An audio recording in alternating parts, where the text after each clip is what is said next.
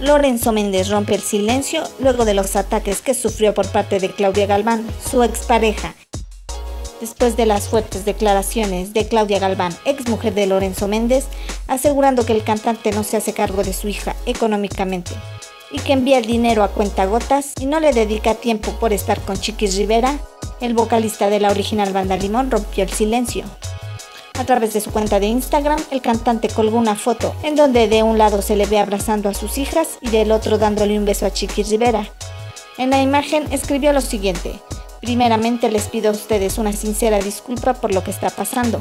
Les quiero informar por este medio que se está tomando acciones legales contra esta persona.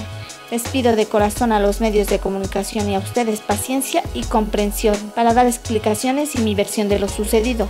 Tómenlo por hecho que hablaré al respecto. Limpiaré mi nombre que ha sido arrastrado por el piso y contestaré todas las preguntas en el momento adecuado y después de que mis abogados me lo permitan.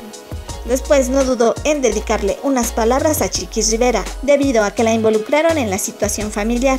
Él aseguró lo siguiente, y a ti, Yanei, te pido una disculpa por esta locura que está pasando. Tú sabes cuánto te amo y lo importante que eres para mí en mi vida. Gracias por estar conmigo en estos momentos difíciles. Gracias por ser una dama, una gran mujer y una excelente persona con mis hijas. No te mereces estar involucrada en este escándalo. Aún así tengo la bendición de tener tu respaldo. Así, Lorenzo Méndez rompe el silencio y cuenta su verdad.